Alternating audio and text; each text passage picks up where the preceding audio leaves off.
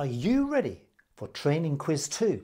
You don't become skilled in dermoscopy overnight. For each patient I present to you today, give your answers to these questions. What is your diagnosis? And what clues helped you reach that conclusion? How certain are you of your diagnosis? Confidence is a precious commodity in medicine. No one wants to miss a melanoma or skin cancer. With time and practice, your confidence in your diagnostic abilities will increase. You'll become more willing to take that burden of responsibility for a diagnosis upon yourself, increasing your ability to correctly reassure reassure the many patients who walk through your door worried they might have cancer that they don't because you took the time to learn dermoscopy. And the final question I challenge you to ask yourself is how would you have managed them? A diagnosis is only half our job in primary care. The other half is figuring out how best to manage and support your patient with their new diagnosis. A 51 year old lady comes to you concerned about this 5mm soft red papule on her lower chest wall that she's only just noticed. It hasn't bled and has no symptoms. What do you think?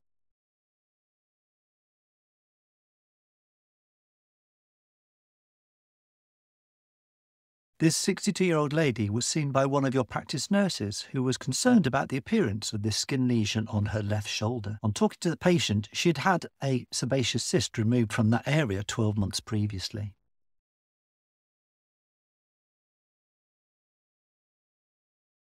This 43 year old lady had this 6mm red soft papule on her upper sternum. It had been slowly growing over two years. It was occasionally catching on things and bleeding.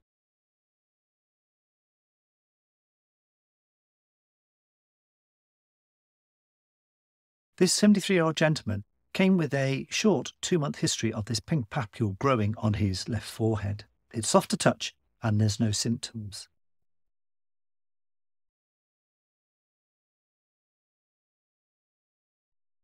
I often go back and look at a tricky skin lesion two or three times with my dermoscope, just to be clear in my own mind that the colours and patterns I'm seeing is what's really there.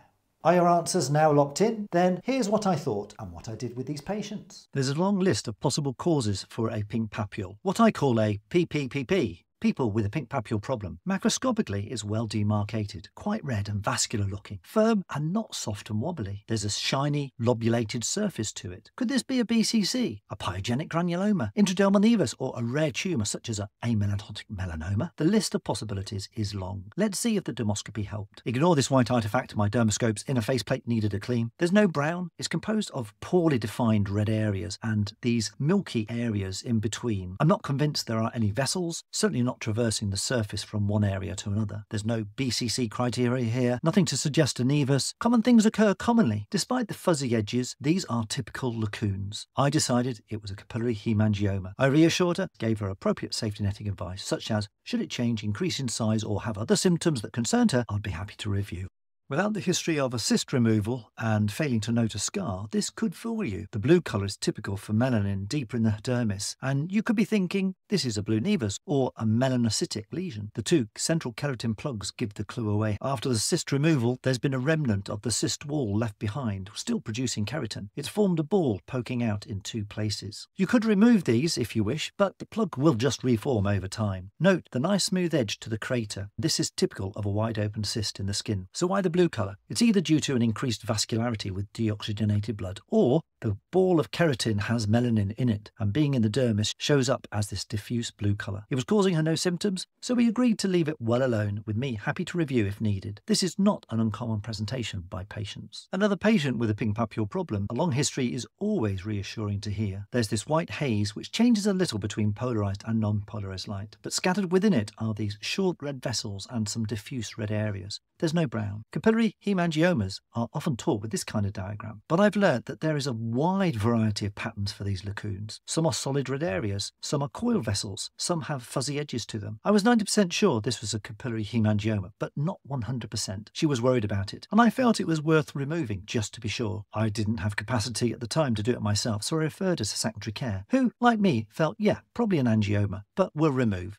and it was confirmed as a capillary hemangioma. So look at as many as you can on your patients to build up this memory bank of their variability. This video might help you. Finally, another PPPP for which the differential diagnosis list is long. It's a shorter two-month history, which is more of a concern. What did the dermoscopy tell you? It's different again. When you're not sure, take your time and describe what you see. There's a pink background with dots and small coiled vessels throughout. No obvious hairpin vessels, common in warts, but if you thought maybe a frog spawn pattern, I'd give you a thumbs up. No obvious BCC criteria here. If there are coiled vessels throughout, could this be a patch of Bowen's? But look at this, the vessels are starting to form chains, or a string of pearls pattern perhaps. Such a pattern, and here's a few photographs from the Primary Care Dermatological Society website, is classic for a rare benign skin lesion called a clear cell acanthoma.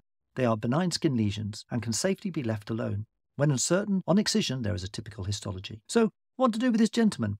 I was torn between a wart, i.e. a frog spawn pattern, and a clear cell acanthoma. I was happy it wasn't a cancer, which is the main thing and I gave my thoughts to the patient, but he didn't like it and wanted it gone. You may have decided to refer him for a second opinion, which would have been fine. It's on the forehead, and I do occasionally do excisions here, but it would have left him with a scar. I had my cryotherapy gun handy, and he agreed to let me try freezing it, which I did for 30 seconds. I followed him up carefully, and this was the same patch of skin two months later, not a mark left behind. Happy patient, happy doctor. How did you do? Feel free to comment on these cases and my management in the section below this video. I'm still learning. Teach me. Perhaps I could interest you, however, in one of these two videos to help feed your newfound love for dermoscopy. Training a primary care dermoscopist for every general practice.